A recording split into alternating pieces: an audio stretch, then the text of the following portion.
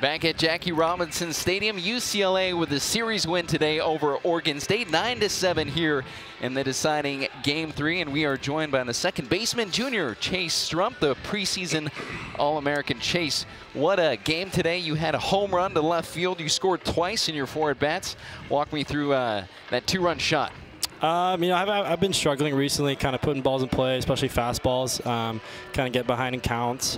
Um, so today I was just trying to really stay aggressive. Um, you know, I struck out the at bat before, but uh, you know, try to come back that next at bat and you know look for elevation, hunt elevation. Um, luckily, got a good pitch to hit and got it. You know, put it in fair play this time, um, and so it found its way over the fence. So that felt good for sure. Well, what's been going on this year? I mean, listen, obviously you guys are one of the best teams in the country, and you have played like it um, albeit that you know, Kreidler is one of the that crew that came in. You, mm -hmm. Toglia, and Kreidler came in. Kreids has, has had a, a, great start, uh, but you and Toglia have not been how we know you can be I mean, a, a, game like today, how important it is it? I mean, you leave the yard, and just like that, your buddy Tolly, he leaves the yard. Yeah.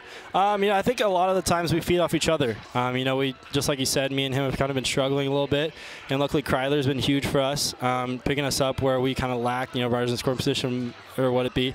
Um, but yeah, today was kind of just getting back to the roots of just competing and you know finding a way to win. Um, me and Mike have tried to stay with that approach the whole season, regardless of our ups or downs. Um, and so today we were kind of able to succeed a little bit more. Um, and I think we, it's just good for us to feed off each other with that energy and then Kreidler as well, keeping that positive energy. Um, and then I think we showed a little bit more of what our offense is capable of today. So um, just trying to stick with that mindset um, throughout the year and see where it see where it goes. Well, I know John Sa Savage, head coach, is not going to let your heads get big at all, but there's a pretty good chance you guys are going to be a number one team in the country. I mean, talk about how John uh, keeps you guys level-headed, and and and and it's, it's not what happened today; it's what happens tomorrow. Right.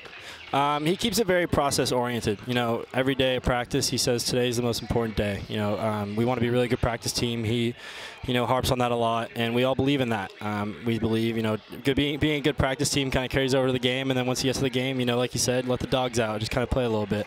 Um, so I think keeping that, you know, you know, the priorities straight and kind of practice first, then game you know, keeps us from getting ahead of each other. And um, especially, you know, with all the rankings here and there, I, um, I, know a lot of guys here don't pay attention to it. Um, you know, hopefully it turns out well for us. But I think it's just back to being process oriented and, you know, just not worrying about the result. is just how we get there. You know, the, the things we do right getting there.